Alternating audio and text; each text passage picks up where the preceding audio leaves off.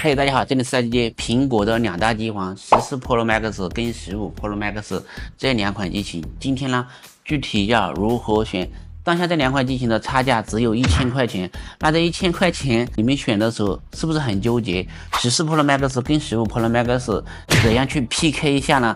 看完这个视频，对于这两款手机呢，你会有很确切的答案。那么绘画小说马上切换镜头，在评测之前呢，兄弟们过来看一下这两款机型，它们的相同之处都是四千八百万的拍摄，这一台是不锈钢的机身，这台是钛合金的机身啊。我们首先来看一下它的正面都是灵动岛，然后我们装上这些软件，等会会给它跑一个综合的加载跑分测试。废话少说，马上切换镜头，第一步性能测试。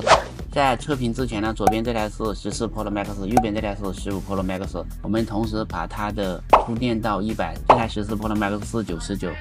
接着我们再看一下它的电池效率，分别是电效一百，电效一百。这台系统是十七点五幺，而这台十四 Pro Max 也是十七点五幺，版本一样。接着第一步，我们来跑个分测试一下。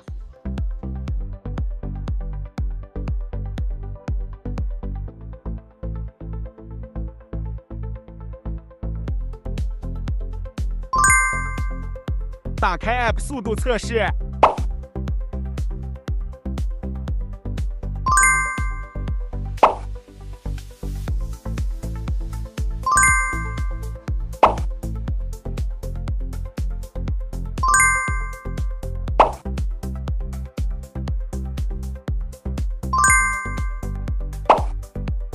基本平手。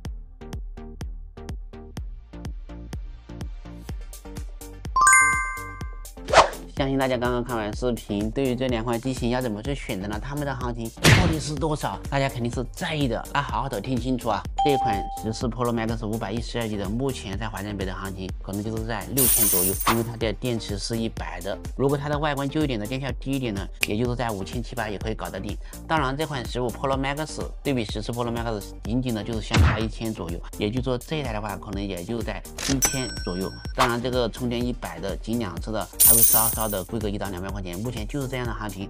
对于十四 Pro Max 跟十五 Pro Max 的话，我个人觉得啊，十四 Pro Max 它的运行内存的为什么拖后腿？它的运行内存才六个 G。我们在玩游戏的时候，加载速度的时候，明显十五 Pro Max 的运行速度更快它差百分之十。但是呢，加载速度软件的时候，很明显十五 Pro Max 来的更快一点，因为它的运行内存有八个 G，再加上它轻薄的机身，很明显，我个人感觉这一千块钱的话，如果要我选择的话，十五 Pro Max X 来的更加实在。对于这两款机型呢，你们要怎么去选择呢？可以写在评论处啊。我这里是 IDJ，当然了，华强北的手机的行情，我们这边天天有更新。如果这个视频对你选购这两款机型有帮助的话，顺便帮我点个赞，你的生活，很灿烂。